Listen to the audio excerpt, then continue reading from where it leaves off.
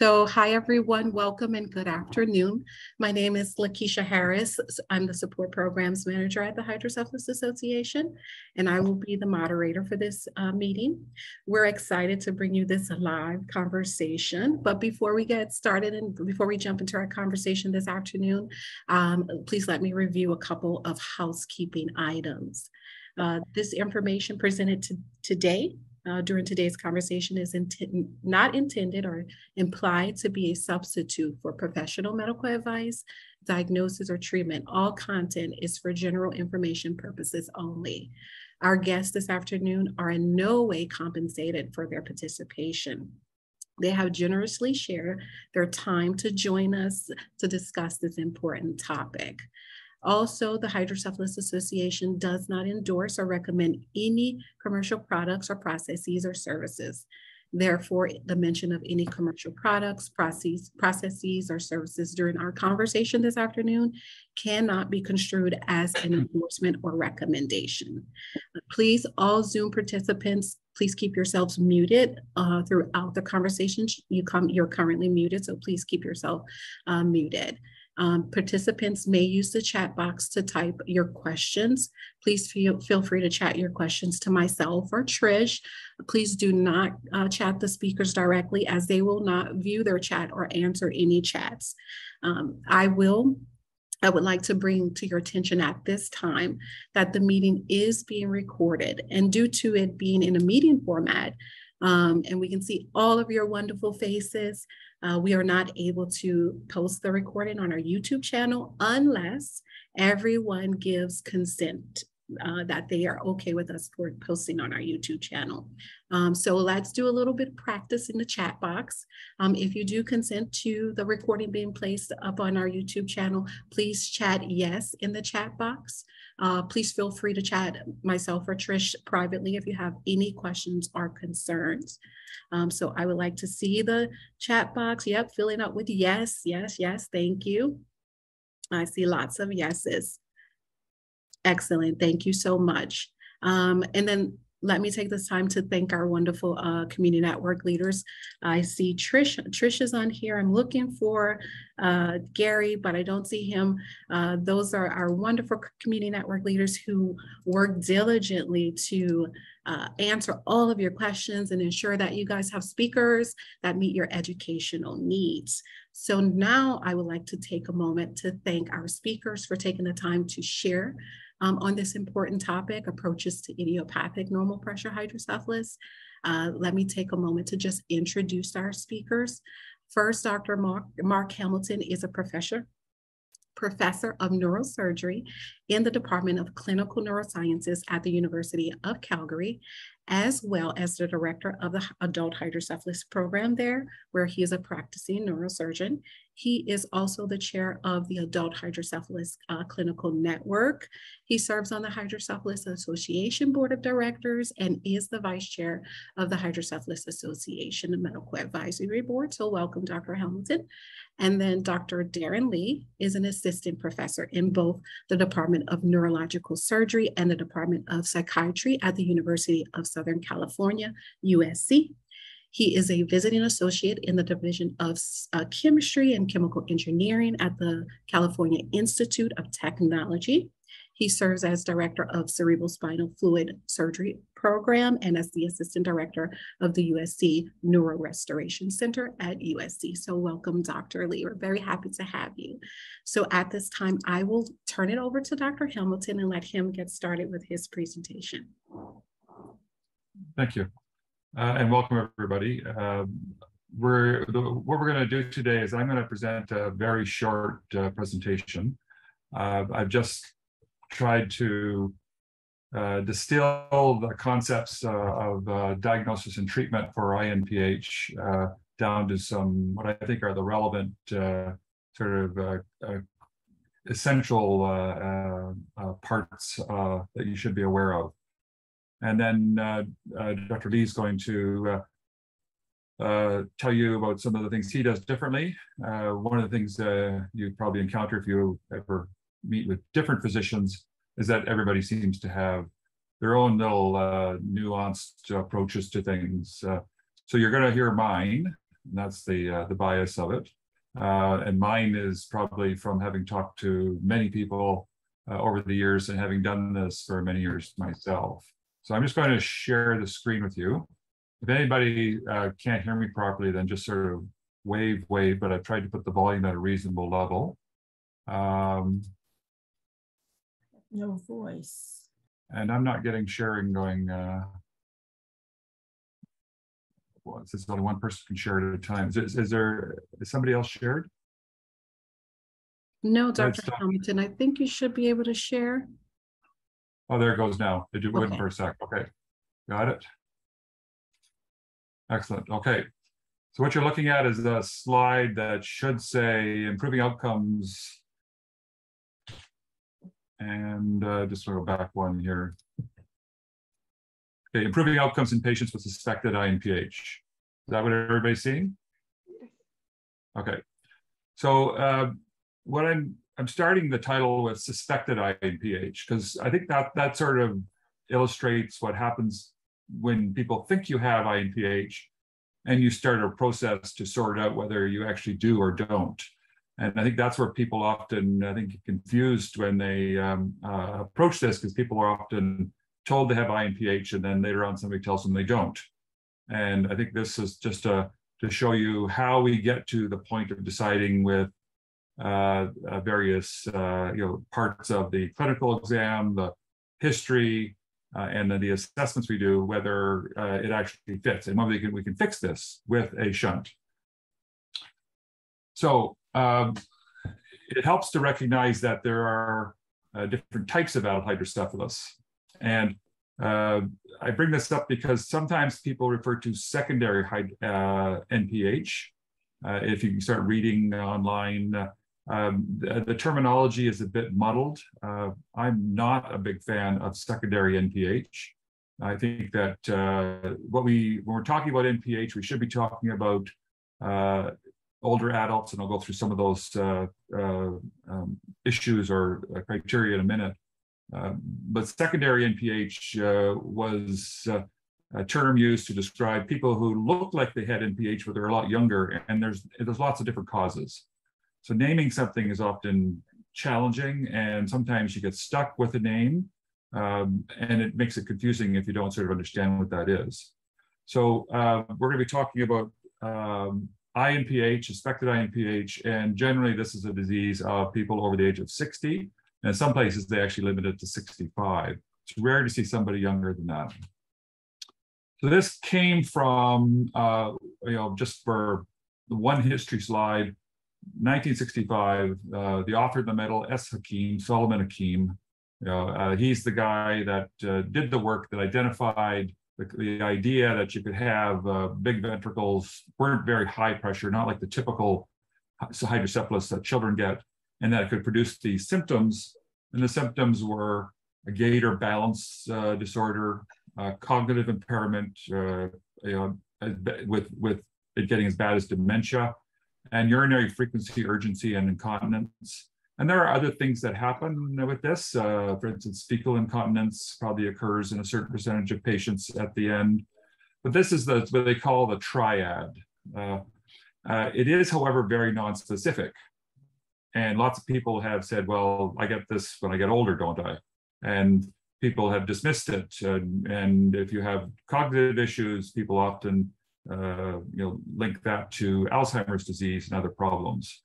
So I, I, one of the key hallmarks of uh, INPH, if you suspect somebody has it, is not that you necessarily have to have every aspect of this, but I'll, and I'll put that on a tree in a slide in a second. You at least have to have gait and balance problems.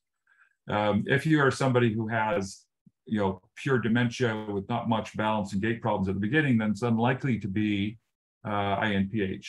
Uh, so the other thing is that when you, uh, to, to, to meet the criteria to be INPH, uh, back when uh, Dr. Hakim identified this, it was the fact that you could improve this by removing spinal fluid. In other words, a shunt operation could help this. Whereas shunt operations, to our best of our understanding, do not help uh, very much with people with Alzheimer's disease. Now, it's also quite often frequently referred to as a rare disease. Um, I think the problem with the rarity aspect is that lots of people just don't look for it. Uh, it's probably much more common. It, I think it is much more common than people uh, generally talk about. And this is from a, uh, a, review of the literature that was done. And there's been a couple of uh, reviews like this using very uh, special uh, review techniques and statistics to look at the, the papers that have been published.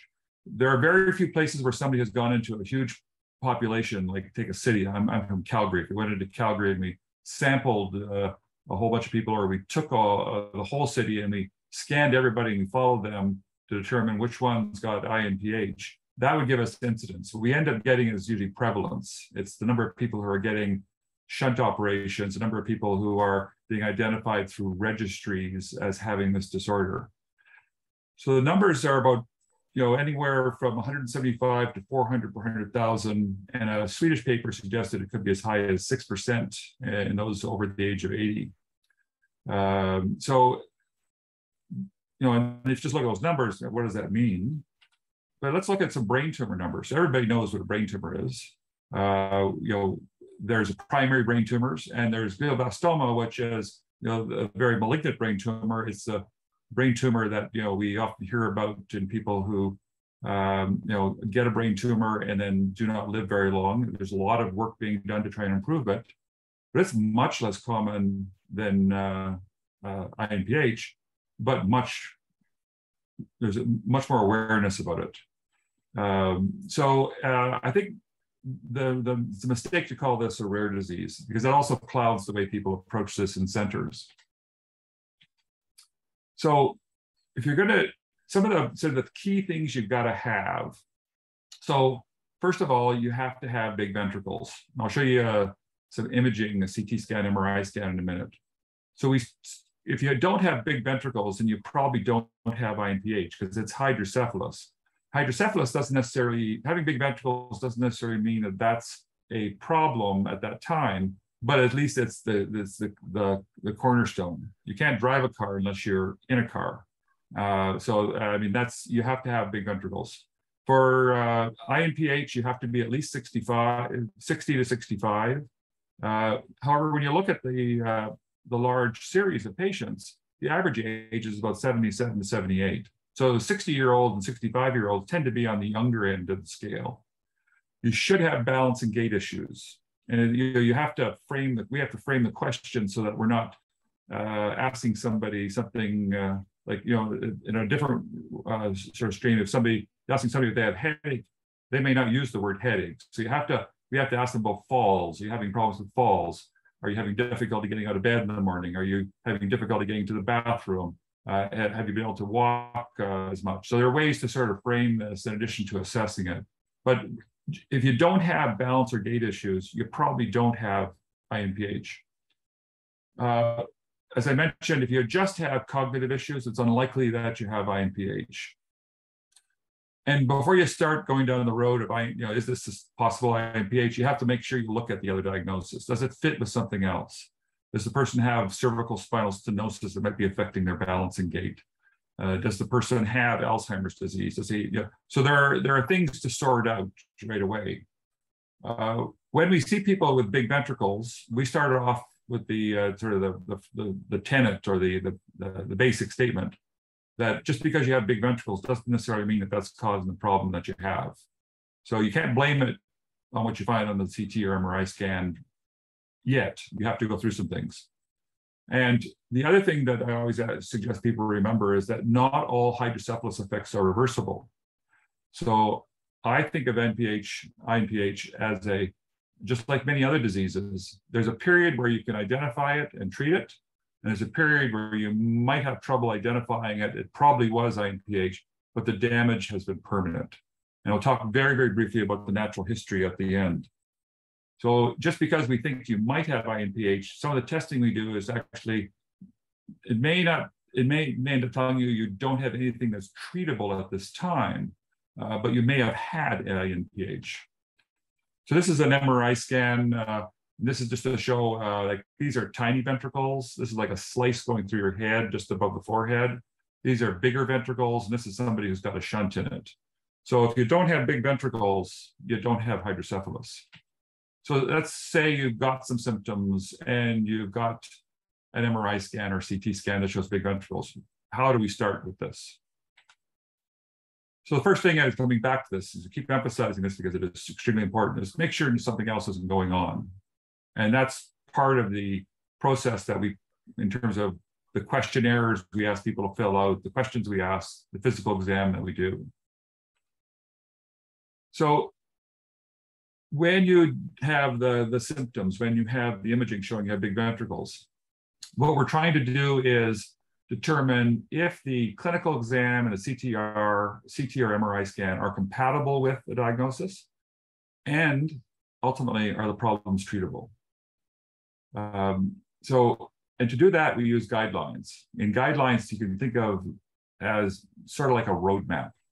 And I'm going to show you something. And I don't want you to get caught up too much in the complexity of it. But when you look at this, uh, there's three parts to this. This is showing that this bar here, as the farther down you go, the more reliable it is, is the whole, the process has been more reliable in showing you that what you're, what, what the person has is most likely INPH and a shunt will help. So if you start up here with just a clinical exam and imaging, you're uh, basically just about a 50% chance. You're flipping a coin. So if you don't, if you just use that, half of the people getting a shunt, if you shunted everybody, would get wouldn't get better. And that's the this was in 2005, and at this time we're not that much farther along than this. Uh, so what we do is we add um, some additional tests, and the two tests we do in uh, North America and Europe, uh, uh sorry, North America, Japan, Europe, and Europe they do a few other things, but we either do what's called the lumbar puncture CSF bolus withdrawal or the TAP test, uh, or a drainage protocol. And the, both, both of what these do is try in some way mimic a shunt. So shunts take fluid out of your brain, send it somewhere else. These are tests to remove fluid. If we can get an effect, an improvement with these tests, then that makes you a better candidate for uh, a shunt operation. So that's the, the, the why we put people through this. Because without this, if we had 100 people who had a clinical exam and an MRI scan that suggested INPH, and we put a shunt into everybody, about 50 of those people would not get better. And we don't want people to have surgery that's not going to make them better. So what's next? So part of this process of using the guidelines is to measure things. So um, we said it's gait uh, and cognition and bladder issues. Uh, so there's, we do a deep dive into this, but I'll just summarize this by saying that we have, we should do some measurement of gait. I'm a big believer in, uh, you know, uh, trying to use something that not just looking at how somebody's doing, but try to have some measure we can use to help guide us. And we put the two together. So there's different ways people do gait, and we often do these before and after the lumbar puncture or lumbar drain. Uh, and one of them is a 10 meter walk. So you have a 10 meter distance in the hallway and you walk and we time it. We count the number of steps. We watch how many steps it takes to turn. Um, the tug test is called the timed up and go, where you get up out of a chair and you walk three meters and back. So there's different tests. They're pretty standardized. Lots of people use them. And we use them because they're reproducible. So if, if I'm talking to somebody who's doing this in you know a different city, different place, and I get a pretty good framework of what you know are, are we're, we're, it's like it's like you remove the need for a translator. Um, and then for cognition there's all kinds of tests people do. Uh, i think if you had to go down to the bare minimum you need it's a gait. Uh, we, we do a number of cognition tests but the bare minimum i like for cognition is something called the montreal cognitive assessment test. Uh, some people will see people using the mmse or the mini mental status evaluation examination and it's not quite as sensitive for um, uh, patients as the MoCA. What we've learned is that if we properly select people, uh, all of the symptoms that we see, and we don't have a good test for bladder, but we, we use questionnaires to help gauge how people are doing, but all these things can improve, but ultimately the degree of improvement is going to depend on how bad things are. So again, coming back to this diagram, if you um, had the symptoms uh, and you had the test and the test was positive, there's a very high probability that you're going to get better if we offer you a shunt. So I've already sort of said why we need to do this. It's because, just to reinforce this, half of the people with compatible symptoms and big ventricles do not improve after a tap test or lumbar drain. So I think that, that's its fundamental thing. So I'm just going to show you, this is a really quick uh, uh, video, but it shows a, oh, sorry, we're having a little flick there. Let's go back. Just try and get this back to where, okay. This is a patient who had all the symptoms. He had the imaging showing uh, um, problems with uh, his uh, gait and his cognition. Uh, and you can see he he's very unsteady when he walks. He's slow. He doesn't clear his feet very well. He takes he's very uncertain when he turns. That's as we call the baseline assessment. And then I'm going to show you what it's like after he's had his three-day lumbar drain. I don't need to do much convincing to tell you that's much better. He turned faster, he walks faster, he's stable, he's not veering. That's great. So this is the kind of test we like to use. And this guy, this gentleman, his MoCA improved from 20 to 25. So that, that was nice, but his gait improved dramatically. His number of steps to turn decreased. So he was offered surgery. So the surgery that we use is shunts because there is no medical therapy for INPH at this point. Uh, it'd be nice if there was, but at this point, although little things have been tried, nothing has been effective. So this is uh, just to show you, you know, the effects of the shunt. So if you do a drain and you don't do a shunt, they get better with the drain. They go back, you go back to the way you were. So with a shunt, he continued to improve. So shunts are the mainstay of treatment. And as I mentioned, you're basically just removing spinal fluid from one place and you're sending it to another. If you've heard of this operation called endoscopic third ventriculostomy, in patients who have INPH, it really has a very, very limited role. And usually these are people who have something other than INPH. They're just older patients when they declare. So it's not something that people have demonstrated any effectiveness or efficacy for treatment. There are three types of shunts. Uh, there's the that are commonly used. There's all kinds of other little variations on this, but the VP shunt is the most common around that you see around. The VA shunt, ventricular atrial shunt, and the lumboperitoneal shunt. There's some geographic differences. Uh, there's pluses and negatives for both. Um, this is a, sort of a little cartoon demonstrating that the VP shunt takes a catheter into the brain, has a valve to regulate the flow, and a catheter goes down to the belly. And the VA shunt is the same, except the catheter goes into the vein in the neck and doesn't go quite that far into the atrium, but uh, it basically you're sending the fluid somewhere else and it gets re reabsorbed or recycled. There's no evidence that any of these are better than the other. People use what they're comfortable and is commonly used around them. Uh, the uh, VP shunt is more commonly used in North America and Europe. The LP shunt a bit more in Asia. Um, my experience has been that you usually can't rely on one type of shunt system for everybody. You need to have a few shunt systems in your in your pocket to pull out and use depending on what the issues are. This little cartoon just illustrates what happens with the shunt. It's basically just sending the fluid from the head down through the catheter into the belly. And here you see the catheter is up at the front, but some people also put the catheter in through the back. So there's very there's lots of variations. Sure. Now, what people are concerned about with shunts is, you know, they, you know, first we want to make sure they work, but do they have problems with shunts? Or what are the problems?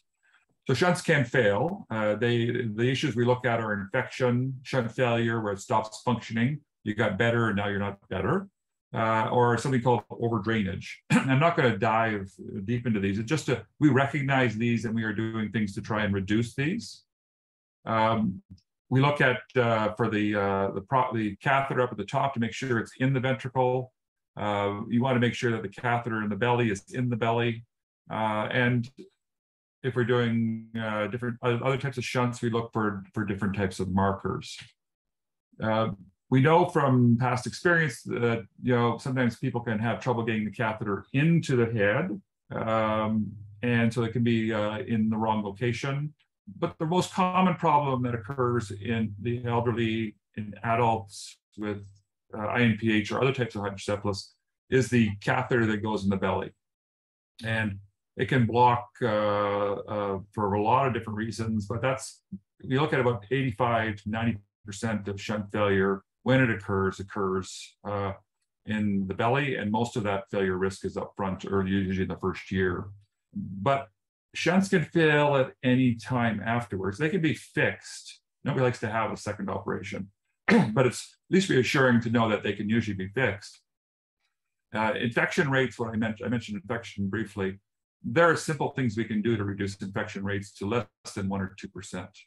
Nobody wants an infection for obvious reasons, but infection also means you have to take the shunt out, treat with the antibiotics, and then put the shunt back in. So that's multiple procedures.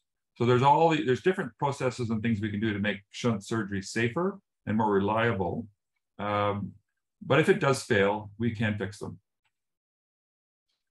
So um, coming back to outcomes. So we've got all, you know, we hopefully have picked people properly. We've done the operation. The operation has hopefully been relatively safe. And then what do you expect uh, in terms of, I showed you a video showing that, that one person uh, was continuing to walk very well after their shunt. First of all, if you don't treat somebody with uh, INPH, uh, it has, uh, I, we're now recognizing uh, high mortality and significant morbidity. In other words, people suffer a lot and die sooner. So this is always, I think, for a long time thought of as a just a disease, and people, if you didn't get treated, you got you had to put up with it. But we do know that people die earlier if they don't get treated. This uh, is a paper that came out recently from our uh, Adult Hydrocephalus Clinical Research Network, and we titled it Safety and Effectiveness of the Assessment and Treatment of INPH. And why that title uh, should resonate because it sums up everything that we just talked about. Um, there, it's safe to do the assessments. If you pick the right people, you get the results, and the treatments are safe. There are small risks, but the treatments on the whole are safe.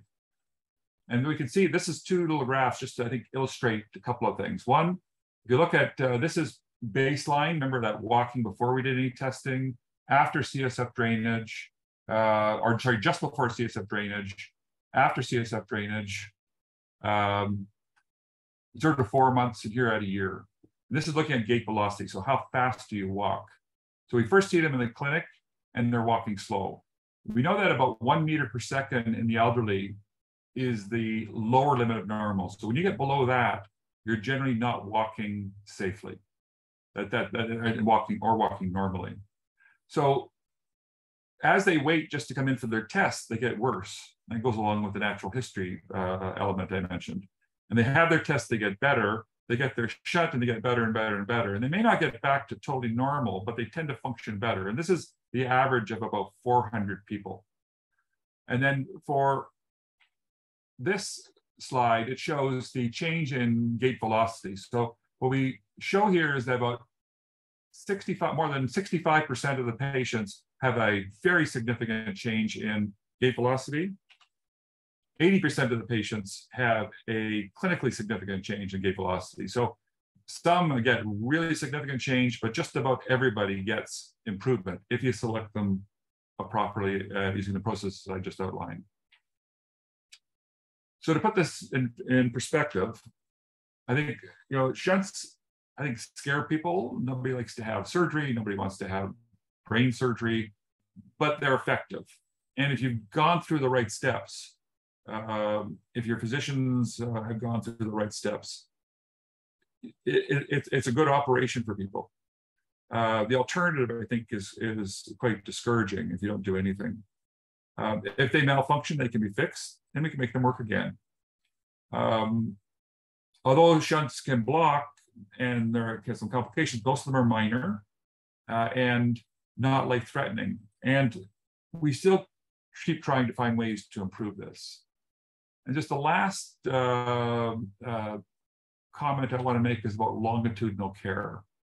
So I am a firm believer in the need for ongoing care. I don't consider hydrocephalus to be a, um, and Dr. Williams likes to refer to uh, the scenario one and done. In other words, you, you do the shunt operation, pat the person on the back and say, you know, have a good life. Uh, shunts can fail. Um, and this is from Dr. Williams. Shunts and ETVs can stop working. You can develop delayed infections. uh, headaches can develop, problems can develop, shunts can malfunction. So we need to follow people. You may not have to come in every six months. You may only have to come in every one or two years. But you more most important thing is you have a place to call. So that's the way we function with our clinic. You know, we we struggle like everywhere keeping up with numbers, but we want people to call us if they're having a problem, and we prioritize that to try and try and assess and fix their problems. Not every problem that somebody has when they have a shunt is related to their shunt. Uh, but once we've gone through that sorting out process, if it is a shunt, then we can then go ahead and fix it. And that is where I will stop. Thank you. Thank you, Dr. Hamilton. Now we can turn it over to you, Dr. Lee. Thank you. Uh, that was a uh, excellent overview, uh, Dr. Hamilton. Um, you know, I, I don't think I disagree with any of the uh, of what what you talked about from you know diagnosis to treatment. Um, I do we do kind of have a slightly different um, I guess workflow uh, when it comes to how we diagnose, um, treat, and and follow. But again, we agree uh, wholeheartedly with the the long term follow up. Um, so you know, I guess basically uh, there's just a few things that we, we kind of do slightly different um, uh, at USC. Uh, so we do have a uh, normal pressure hydrocephalus clinic. Um, um, I'm sure Dr. Hamilton can, can kind of expound on how they kind of work on it. But um, when a patient's referred to to our clinic, um, we're, they're evaluated actually kind of as a almost a one-stop shop um, by myself, um, our, a physical therapist, an uh, occupational therapist, and um, potentially a neurologist, depending on um, who is the, the referring provider.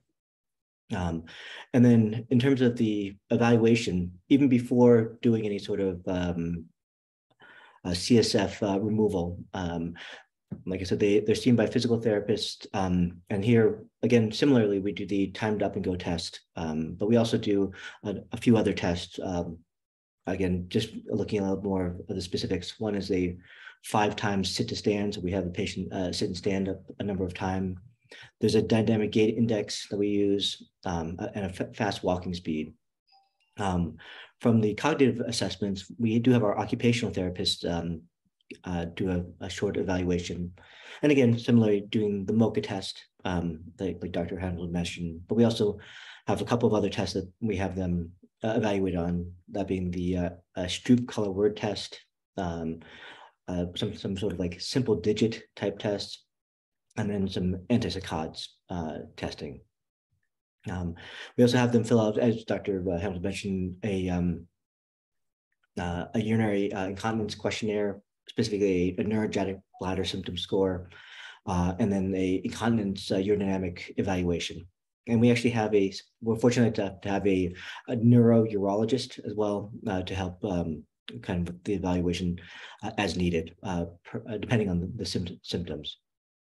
Um, after we have the patients come through our, our clinic, we usually uh, will send them uh, home and then have a small little case conference to determine, um, based upon the imaging uh, and their clinical evaluation, whether or not we think the patient's a good candidate for CSF removal.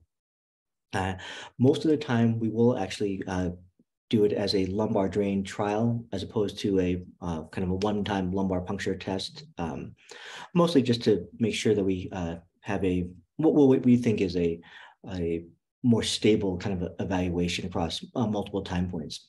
So the patients are usually admitted um, to the hospital. Uh, the lumbar drain is placed over the course of, excuse me, uh, three days, and then our physical therapist and occupational therapist will actually evaluate uh, daily for those three days to see if there's any changes. Um, at the end of the the I guess third or fourth day, the, the lumbar drain is removed and the patient's discharged. Um, we'll then have another kind of little case conference between the physical therapist, occupational therapist, and um, myself and neurologist. Um, and again, going over imaging, determine if we think uh, that there was a uh, meaningful response from the CSF removal. Um, and then we proceed again uh, if they're they are um, deemed a good candidate, then moving forward generally with a ventricular peritoneal shunt. If they're not deemed a good candidate, then they're the, the we're kind of dis- uh, we discuss again with the patients either uh, primary care or neurologist to say that we don't think that this is potentially uh, NPH, and then uh, you know other potential uh, need to be done. For instance, things like Parkinson's disease or Alzheimer's disease. Um, a little bit, I guess, a little bit more on the specifics uh, with the ventricular peritoneal shunt. Um, I saw on Dr. Hamilton's uh, kind of figures and cartoons that they uh, do, or it appears that they do a uh, parietal occipital shunt. Correct me if that's not the case, but basically placing the catheter in the back of the head. Um, I, I, typically do a, a frontal uh, ventricular peritoneal shunt, and um, I assume that this is the same way with uh, Dr. Hamilton, but almost predominantly on the right side of the brain. Um, and then you know, because we try to get these kind of more uh, objective measures again with our physical therapist and occupational therapist. Um, and so we usually see the patients um, uh, probably at uh, you know two weeks uh, after the initial surgery, and then we see them again at one month, uh, three months, and a year, and then yearly after that, um, uh, just to make sure that they see if there's any sort of significant changes. Um, we will occasionally, oh, we uh, it's pretty typical that we use for our shunts um, adjustable valves. So valves that can, um, we can adjust the amount of pressure um, that we're, or how much CSF we're kind of taking off um, for a couple of reasons. One, I think Dr. Hamilton mentioned that there's a possibility for kind of over drainage. So we can use these uh, valves to kind of reduce the amount of drainage if we need to, or potentially increase the amount of drainage to see if there's potentially some effects with uh, changing the amount of flow. But again, in general, um, we again we believe in kind of these long-term follow-up with with patients um, in in terms of one just checking and seeing how how you're doing, uh, but also just to make sure that there is no um, potential malfunctions. And if there were to be some sort of malfunction or suspected malfunction, um, usually we do imaging like a, a CT or a CAT scan of the head or some x-rays to make sure that there's no breakage or uh, malplaced uh, catheters. Um, if we see nothing wrong and there's still persistent uh, problems, we may consider uh, doing a shunt function study. So uh, injecting a tracer into the, the valve to make sure that the tracer actually flows, through, uh, that the shunt is actually properly working throughout. Um, but again, the, the, not very significantly different, I think, uh, than uh, Dr. Hamilton's approach, uh, outside of maybe uh, the not doing the, the lumbar puncture as frequently. We'll do it, but uh, generally that's for patients who we just don't think would pretty much tolerate um, a, lo a longer hospital stay. I, I, think I use about lumbar puncture for less than a quarter of patients uh, uh, I think it's not as sensitive. If you fail a lumbar puncture, you don't have a positive response, then they go automatically to a lumbar drain.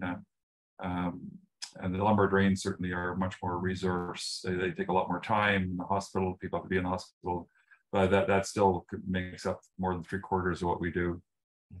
I think there are some institutions that will go to lumbar puncture first, um, and and then kind of go from there. But um, like I said, I think we think it's quite, quite a bit more sensitive than the lumbar drain trial. I and I think what you you're hearing from both of us is that uh, the sort of the endpoints are often uh, are, are very similar. The pathways may be a little different, but the principles are the same as we sort of both navigate this. I, I, I, I, agree firmly with uh, the idea of using programmable valves. Um, um, I, I worked in an era where we didn't have programmable valves, and I would never go back um, and they've gotten better, but valves are, more research needs to be done in terms of making them uh, even uh, better than they are now.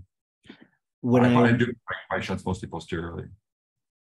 When, yeah. when I initially trained, uh, again, uh, my uh, mentors would always use a uh, fixed pressure valve. So that's something I kind of I moved away from, I guess.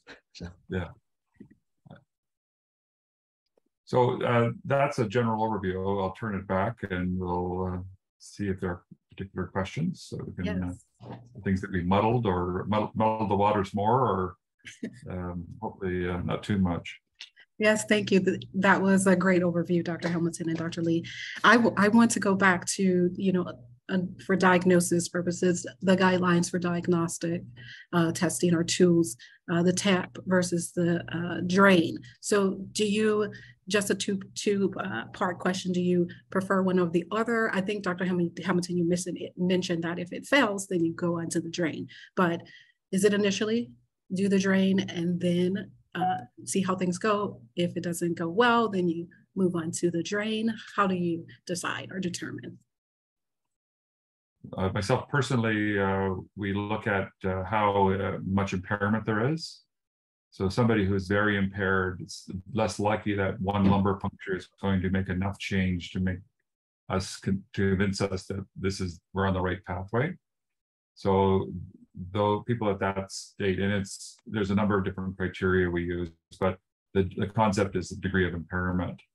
Um, if we're looking for uh, a cognitive effect, then we'll definitely would do a drain um, because uh, with a lumbar puncture, there's not enough volume or time uh, associated with it to actually get much of a change. Many places don't even bother testing the MOCA after the lumbar puncture. Uh, the, lum the lumbar drain is more sensitive because it is removing more fluid over a longer period of time. And that's the general impression that most of us have. So uh, I do know centers where they just can't do uh, lumbar drains uh, because they're not set up for it. They don't have um, the access to beds for it. And in which case a lumbar puncture is still a valid option, but it then becomes more difficult when you have people who don't have a response or a convincing response as to what to do with them. Uh, we didn't get into the topic of delayed assessments. Most of us assess people two or three hours after lumbar puncture. Um, but we also, uh, lots of centers now are sending people home with diaries, or we're calling them or having them call us two days later, three days later, and tell us if things have changed. If they are, we bring them back and we assess them. Um, so there's, um, you can do a lot with the large volume tap, but it is not the, the most sensitive test. Dr. Lee, do you want to share anything? Uh, yeah, so I mean, again, similarly, we, we typically will go uh, first with a lumbar drain. Uh, the only times we we really will do lumbar punctures if, like I said, we don't think that the patients are going to be uh, uh, one kind of amenable to staying overnight, you know, uh, a couple nights or a few nights in a row. Um, that that can sometimes be the the difference. Um, and then potentially, uh, yeah, I mean, the, the we basically will go to lumbar drain almost exclusively. We, we do it occasionally, the lumbar puncture, um, when patients don't want to, and we kind of give them that, that choice. Um, but, uh, you know, we've, I've had a number of patients where they've, uh, and this is sometimes for kind of insurance reason, but they did a lumbar puncture and it was very equivocal whether or not there's any benefit. Um, uh, but then we had to kind of fight for a lumbar drain trial and, and the patient got significant improvement with the lumbar drain trial. Uh, so eventually got a shunt, but I think upfront we weren't sure, and I didn't want to commit them to a shunt without knowing that I, you know, having a, a high um, probability that they'd improve before placing the shunt. Uh, I could say from our our uh, experience that about half of the people who have a negative lumbar puncture test who go on, if we take all those, and put, they go into a drain, about half to two thirds do not have a positive lumbar lumbar drain experience, and they don't get better at the lumbar drain. So um, there's still a lot of work that needs to be done to try to, to, to build the you know better understanding of all this. Uh, I think the lumbar tap is a good test for many people, but it is just you just have to be aware that it's not as sensitive. Thank you. There are times where I do receive calls where patients say, you know, they they did not receive a tap or a drain and they just went straight to shunting. Is there any time that you know you can you consider just going straight to shunting? So I, I keep saying my giving my biases first, but uh, if uh, Dr. Lee wants to talk first, go ahead. But I, uh, I will pipe it. I wouldn't. Time. I wouldn't uh, go straight to a shunt. Mm-hmm. So, so I, I, I think uh, I have, have I have done it very infrequently. I made a conscious decision a long time ago to use the best evidence that we had to avoid having a lot of people have shunts. And I had been doing shunts without tests for a number of years before I changed my mind and uh, started doing this way. So I, I, and I was not happy with the predictability. So I, uh, there are some people are looking for um, another marker. They're looking for an MRI change. They're looking for a clinical change, a neuropsychology change, something that will let us pick people much in a much more easy fashion. And at this point, no matter what you read, it doesn't exist. So there's a thing called DESH, which people may have read about, uh, disproportionately enlarged subarachnoid hydrocephalus. And after you say what it means, you realize why everybody just says DESH. Uh, but it's, a, it's an MRI feature, a CT feature, uh, that when it first started being talked about, people thought, well, this is it, this is all you need. And that is not the case. Uh, I have many patients with DESH who do not get better, and many patients who get better who do not have DESH. So um, I, I reserve shunting without testing to specific rare circumstances. I don't think it's best practice. Excellent. Thank you so much. Uh, just one more question on diagnosis, and this is more so geared towards determining whether it's NPH or not. How do you determine if a patient has uh, hydrocephalus ex vacuole? What what is hydros what is a hydrocephalus ex vacuole? Vacuole, and yeah. is it is it related to NPH? Is it different from NPH? Yeah, so hydrocephalus ex vacuo is more of a um, it's a it refers to increased space in the brain can be in the brain cavities usually because of loss of brain substance. Um, and uh, it could be after a stroke after a head injury brain injury it can be with uh, you know at the end stages of things like alzheimer's disease. Um, as we age our ventricles get larger. So i mentioned at the beginning that you have to have big ventricles but you even have to understand what is normal big ventricle, what is normal for an 85 year old is different from what is normal for a 40 year old. So um, I, it's not a term that we use. I don't think I've actually used the phrase hydrocephalus ex vacuo for 15 years. Um, I think we talk in terms of the other uh, aspects. Uh, and you can have people can have had a stroke or subarachnoid hemorrhage uh, from an aneurysm and, and develop hydrocephalus. And they may have big ventricles, they may have had damage to part of their brain, but could still respond. So it becomes much, much more complex than that particular term. So again, not a big fan of it.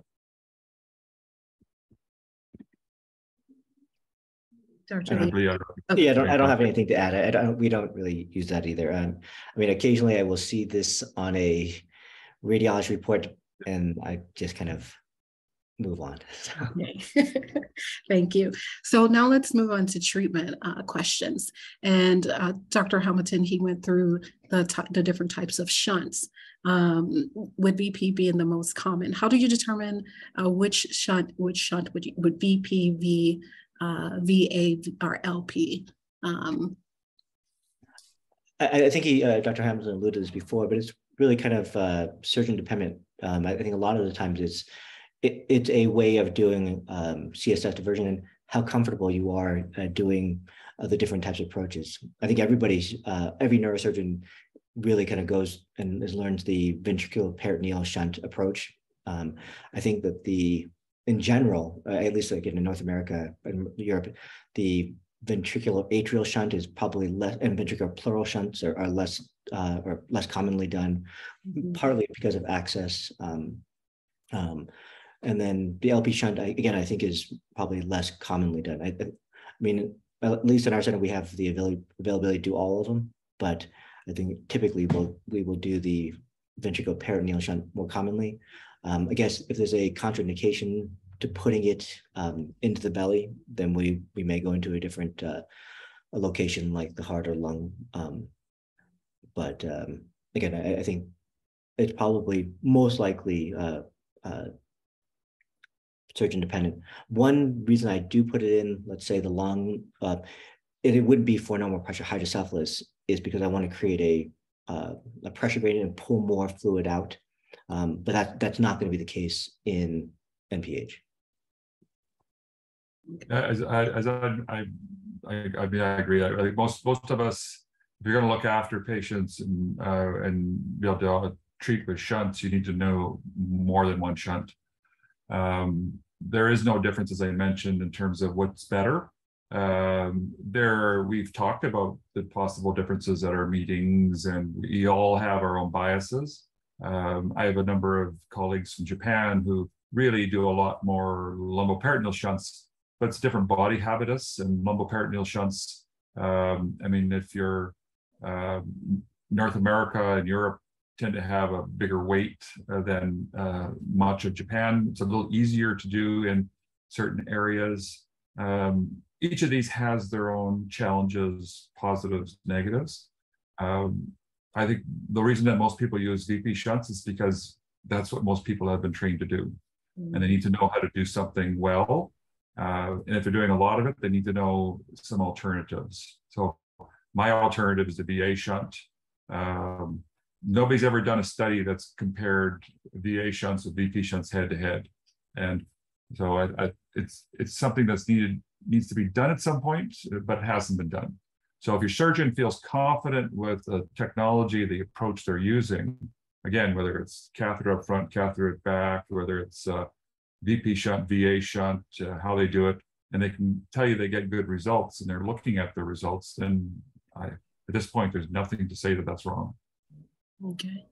And then Dr. Lee mentioned it first about positioning, and you just kind of mentioned up front or back. Why why do you select the right or the left versus the left side? Well, the, the right side is usually done because it's a non-dominant side, and we're all right-handed. Okay. And uh, and so if you do have some if something bad did happen in the left side, your left-sided shunt, you might have a risk of affecting speech and some other functions that would be unique to that part of the brain. It's also the fact that we're, as a surgeon, most of us surgeons are right-handed, and we tend to get used to working in a certain approach, a certain way. Um, and it, again, most of the surgeons were taught by people who did it on the right side, and it just it carries on that way. There, there's there's nothing wrong with doing it on the left if you have to, uh, but I think the the the the first sort of line for most of us is uh, or first approach is right side. Okay, thank you. And after shunt placement, would you ever consider removing the shunt if the patient is not improving? I, I typically uh, don't. Uh, I mean, if it's bothering them uh, to to a certain extent, then then I'd potentially offer, uh, then I would offer it. But um, in general, I think that, um, at least from my point of view, another surgery is uh, another surgery. So uh, increases whatever risk there were in the first time. Um, I don't think that it's a dangerous operation to remove the shunt by any means. Um, but generally, I'm, I don't uh, kind of uh, suggest it. But again, I'm not opposed to removing it. And I, I, I'd second that. I mean, you don't, uh, uh, nobody should have an operation unless there's a perceived benefit and unless that was causing pain or dysfunction or it had become infected, in which case it would have to be removed. There's no real value in uh, taking it out, and there's no danger usually in leaving it in. Okay. Is there uh, clamp it off instead of removing it? Can you clamp it off? Or I hear patients say they turned it off or clamped it off. Um, Depending on the shunt. Mm -hmm depending on the shunt valve. So um, certain some shunt valves you can virtually turn it off. Okay. Uh, so, but you, you turn, all programmable valves you can turn up to their maximum setting, so they're less, less likely to drain. And for somebody with INPH, they tend not to have high CSF pressures. For many of those people, that really does effectively, virtually turn it off. Uh, but the only way to, to stop a valve from draining is to remove it or tie it off and that requires a surgery. Um, so uh, it, you know, if they're not going to use it, we'd usually just turn it up to the highest level uh, mm-hmm. and just leave it there. Okay. So, um, what do you do to determine if a shunt um, is still working um, after implantation? You know, three or more years, um, but the patient still presents maybe one or two classic symptoms. I kind of went to my, my workup uh, previously, but you know, usually I, want to get uh, some basic imaging to make sure that there's no uh, you know, fracture of the, the, the catheter, that the catheters look like they're in the right place. Um, but if I'm concerned, um, you know, I will do some kind of adjustments uh, with the valve to see if there's any changes um, to if with let's say increased flow or not. Um, sometimes I can you can tap the valve um, and put a, needle into the valve, see if there's flow. Um, and if that's you know equivocal, then I would consider putting a, a radio tracer or a nuclear medicine shunt function study. Yeah, so uh, one of the advantages of doing um, some objective measures like gait velocity or uh, uh, a cognitive test is that you then it's like having your blood pressure recordings. You, you come back to the office, the, the know, if you get your blood pressure checked, they're not going to hold your arm and tell you that your blood pressure feels good. They're going to measure it. So we will, uh, you know, we can do a simple 10 meter gait. Uh, some uh, first of all, we start by just asking how they're doing, and we ask the people they're with how they're doing. So we get both sides of that. If they're doing well, then the odds are the shunt's doing what it's supposed to do. Uh, we can confirm that with a simple test. We don't have to do all the tests every time. If there's a concern, we, we start by looking at what's happened to the gait velocity and their balance is off, uh, then we, you know, that raises the level of concern. But just like I mentioned with the, uh, when you start with somebody who doesn't have a shunt, you have to go through that differential diagnosis. The majority of times when somebody's having a, a, a spell of worsening, it, you have to look for the other things that could be causing that. So it could be a bladder infection in some people. It could be they develop spinal stenosis in the lumbar area or spinal stenosis in the in the neck. Um, we've had patients who've developed uh, delayed uh, uh, subdurals. Uh, so there's there's all kinds of different things. So we just we work our way through it. Uh, a CT scan, depending on how long it's been since the last one. I, I do like nuclear medicine shunt studies. That's where you inject the shunt and you watch the tracer. Um, and it's most of these tests aren't, there's not one definitive test. You put them together and you sort of come up with a, an idea of whether you think the shunt is under functioning, over functioning. And then um, if it's under functioning, we usually will try and open it up a bit more. And depending on how bad the shunt study is, you may, you know, like the, the chances of that working vary. It does work, so we try it for some people. And if that doesn't work, we go on and fix the shunt. Excellent. That answered my how do you manage to shunt a failure question. Um, so if um, what is after shunt placement, uh, someone develops a hygroma. What is a hygroma and how do you treat it? So hygroma uh, is usually identified on the CT scan. It's uh, by definition, a hygroma is a collection of clear fluid, so it's probably spinal fluid on the surface of the brain. So when you go from the scalp, you then hit bone underneath the scalp. Then there's a lining underneath the bone called dura.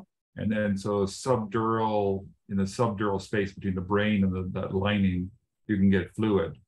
So that fluid can also occasionally have bleeding into it, in which case you then get something called a chronic subdural hematoma. So under the dura, and it's chronic because it usually bleeds and builds slowly. And they are both effects of what we've heard as term overdrainage. So the, the brain in people with INPH is not uh, is, is stiffer than it is when with kids. Kids often, if you have big ventricles, you drain the fluid, the brain's like a sponge to some degree and expands. Mm-hmm. In adults, um, as we get older, it gets worse. Uh, the brain does not expand. So we're taking just enough fluid off to make the brain function better.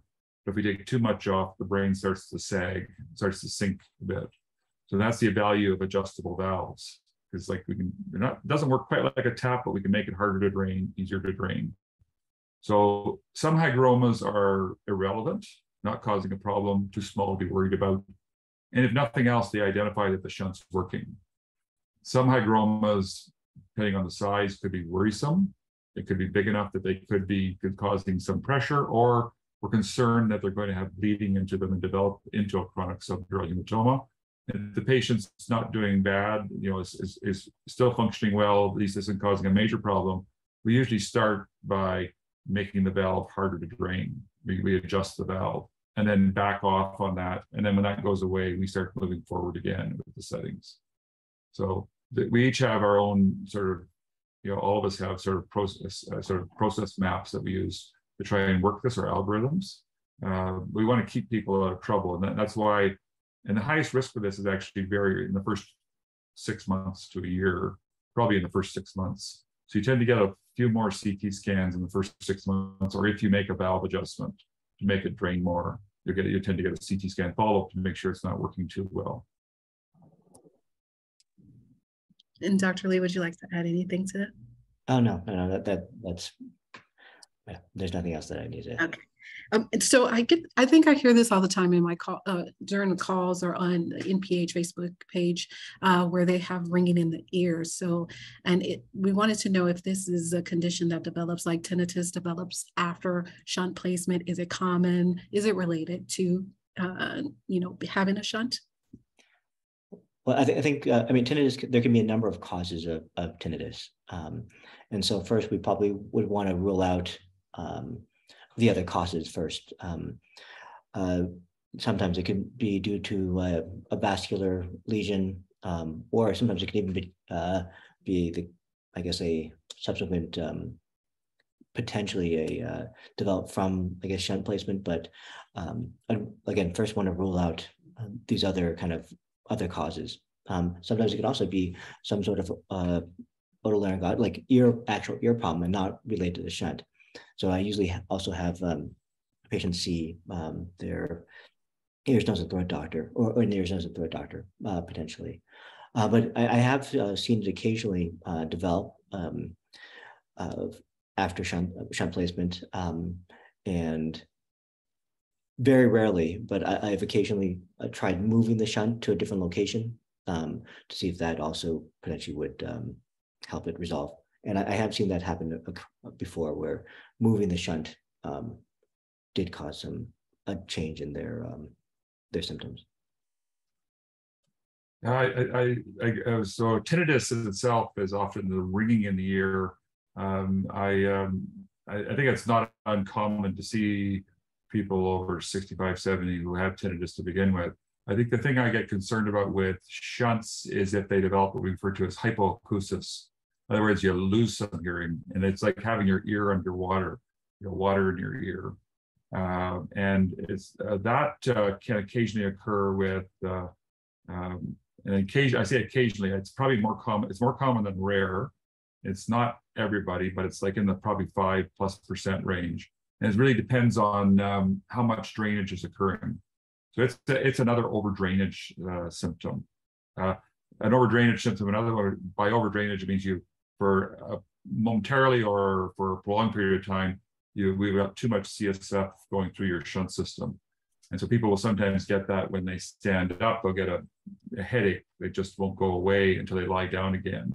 Because when you stand up, you, your shunt drains more, it siphons more uh, by the way the valve works. So um, and sometimes with uh, the the that sensation of water in the ear or dull dullness, like you're trying to listen underwater, uh, you um, we can adjust the shunt. Uh, most people you can find a setting that it goes away. Some people have, you know, if, if the the walking is better when they have that, and the walking's not as good when they don't have it, and then it becomes a bit of a, you know, what, what do you want? What what what is what what's the you know the worst of the two for some one person. And so it's it's it's usually manageable. Uh, lots of times people just don't sometimes we forget to ask and sometimes people don't bring it up. So we've tried to make it a more structured part of our evaluation. Same with the headaches. Uh, one one actually add addition to that i guess is you know i, I do adjust the shunt before i revise the shunt. Um, one other potential thing that we've used in the past is um, putting a anti-siphon uh, guard, so uh, a additional piece that kind of prevents siphoning as well. So there, that, that's another potential option if you don't put a, a valve in that already has this kind of anti-siphon guard in the first place. Yeah, I, I would agree with that. I think that uh, it's very valve dependent. Uh, I had uh, one valve that I used uh, for a long time. I never used an anti-siphon device unless they developed a problem way down the road because it was very uncommon to see a significant over drainage. And, but it's part of the valve I currently use because it, it just, we need it to avoid over drainage for a lot of patients. So I think everybody just needs to be aware of it and understand why we're doing these tests at particular times. And if you have these symptoms, bring them up so we can try and sort them out. Agree. Thank you. And so now we're going to move a little bit out of treatment into a research question. Um, are you familiar with the a recent astronaut study on perivascular spaces? If yes, uh, can you explain a little bit about uh, if the astronaut shows symptoms compatible with NPH, a little bit about the research? The uh, so the only astronaut stuff I've been familiar with, or I am familiar with, is the um, they have not identified uh, major changes in their imaging, from what I understand. Uh, what they've been trying to do is sort out why uh, astronauts complain of um, uh, visual changes, uh, and is that related to a change or increase in ICP? Astronauts have, there's been no astronaut that I'm aware of has ever had any symptoms compatible with INPH or NPH. Uh, uh, they would none of them would qualify for a diagnosis of INPH because uh, I think uh, a 65 year old astronaut would be a rare thing. Mm, yeah. So it's a, it's the things that they're looking at uh, for the spinal fluid and brain physiology in the astronauts. I think really fall into a different category, a way totally separate from from INPH. Okay. Yeah, I don't, I don't have anything to add to that. okay. Well, the last question. Um, so what are the lessons learned for you for you both and uh, prog- problems of recognition in treating NPH patients? Well, I think you know it comes down to the the fact that we don't have the the best uh, the perfect tools to uh, diagnose NPH at this point. Um, I think that there's a lot of us who are very interested in trying to figure out how we can, you know, possibly avoid number one, uh, you know, having to do these lumbar drain trials or uh, lumbar punctures uh, and still be able to diagnose it. Um, you know, we're I know that for us, we're trying to do a number of kind of various uh, advanced imaging studies to see if we can try to correlate changes um, that might be associated with uh, the underlying pathophysiology, which I, I, think none of us really understand. Um, but at the same time, you know, there is this, um, you know, uh, you know, problem that that we can at least uh, help or alleviate a number of these symptoms um, with the shunting procedure. I think it would be great if we could figure out what, again, what the underlying process is so we don't have to have a, a shunt. But um, at this point, you know, there's a number of kind of workflow uh, ish, uh, processes that we're using to try to uh, minimize the one, the the misdiagnosis, and then subsequently minimize the the um, complications that occur with uh, shunt placement. Um, but I think that uh, you know having close or not close, but um, long-term follow-up again is is a key um, point of uh, point that we need to make sure we have, and then having these objective measures. I could. Uh, I was just at the uh, Hydro 2022 meeting uh, where um, it's the first time we've been able to get together in three years because of COVID. Uh, and it sort of it highlighted a lot of these issues uh, that relate to that question. Uh, um, I think at this point, uh, and the reason I went through uh, the talk uh, at the beginning in the way I did was to say that there's there's lots of things being done, um, but I'm uh, essentially a, what I refer to as a pragmatist. If you you still have to do all the things to make shunts function better, you still have to do all the things to pick people with the current best tools we have for surgery, so we're not offering unnecessary surgery. And we have to, while we're doing that, we need to be working on trying to make it better. And there's actually, you know, clinical trial that we're a part of where we're not just trying to make it better, we're trying to prove to the people who don't really get this disease that shunts work. Uh, and that's that's a uh, you know a study that uh, we've done the pilot, and now we're doing the formal study with NIH funding. Um, it's I think it's essential that this idea that people can pick people uh, by their clinical symptoms and imaging reliably, that is just 99% of the time, this time wrong. Um, so people need, we need to use these tests to avoid these other problems. And I've, I had a part of my career where I didn't use these tests and, you know, um, I, I, I'm a firm believer in the need at this time and an optimist that at some point we won't need to do lumbar drains and lumbar punctures, but it's what we have right now. And uh, I think that uh, we'll um, 10, 15 years from now, we'll have a, to be a different conversation, I'm sure. Uh, but we're not there yet. Excellent. Thank you so much, Dr. Lee and Dr. Hamilton. That was a great presentation. Uh, thank you everyone for um, keeping muted and helping us run through this presentation very smoothly. We hope you learned something. We appreciate our, our speakers' time. At this time, we're going to conclude the meeting. Uh, everyone, we do have an active NPH network. I am putting the link in the chat. If you did not join, please consider joining. Um, and thank you to our community network leaders again uh, Trish and Gary for helping to make all of this possible for you guys. Uh, everyone, please have a wonderful rest of your day. Thank you so much. Thank you, Dr. Lee and Dr. Hamilton. Thank you. Right. Bye, everybody. Bye.